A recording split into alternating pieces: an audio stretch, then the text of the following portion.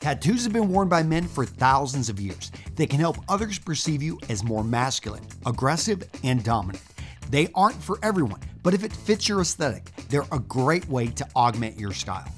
It's important to remember though that tattoos are rather permanent. Removing them is costly, painful, and not always effective. So when you get a tattoo, you want to make sure it's done right and make sure it's something that you're going to be happy with for years to come. In this video, I'm going to cover seven tattoo mistakes. Tattoo mistake number one getting a tattoo on your face, neck, or hands. Though tattoos have become more accepted in Western culture than in previous decades, having a tattoo on your face, neck, or hands is still often frowned upon and will greatly decrease your job opportunities. Unless you're a rock star or work in a tattoo parlor, keep your tattoos limited to places that can be easily covered by clothing. Tattoo mistake number two getting your girl's name tattooed on your body. I get it. You've been going out with this new girl for a few weeks, and she is everything you've ever wanted. You're going to get her name tattooed on your body as a sign of undying love for her. Hold up now. You're about to make a serious mistake. Statistically, tattoos last longer than most relationships. So, if or when this perfect relationship ends, removing that tattoo may be more painful and difficult than the actual breakup. Tattoo mistake number three going for a trendy tattoo. The problem with trendy tattoos is that they can easily date you. For example, barbed wire tattoos around the bicep, that screams 1990s. It's far better to go with something timeless, like an anchor, flower, or skull.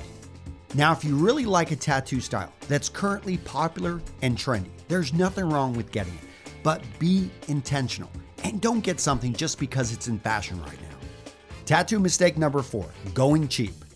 You get what you pay for when it applies to many areas of men's style, and tattoos are no exception. If you're getting something permanent on your skin, you want to make sure it's going to be of good quality. Do your research. Find a skilled tattoo artist that does consistently good work, and don't be afraid to spend a bit more to get a quality tattoo. Tattoo mistake number five getting a tattoo under the influence. I know, getting a tattoo seemed like a great idea at 2 a.m. in the morning when you're roaring drunk. But trust me, you don't want to do anything under the influence. Something as permanent as getting a tattoo should only be done with careful consideration, not when your brain is fogged by drugs or alcohol. Tattoo mistake number six getting a misspelled tattoo. Few things make you look as dumb as a misspelled tattoo. You can find many examples of this on the internet. Make sure you don't join this unfortunate club. Tattoo mistake number seven getting tattoos that you won't be proud of later in life. Gentlemen, try to stay away from any tattoos that are raunchy or you would be ashamed to show your family.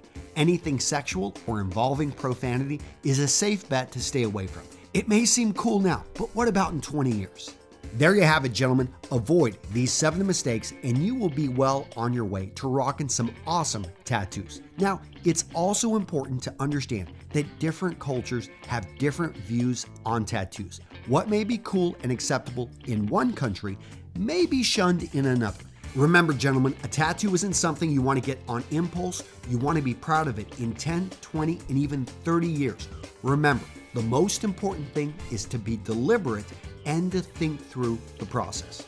For more information on tattoos, on how to control your image, on how to dress for success, gentlemen, go check us out at realmenrealstyle.com.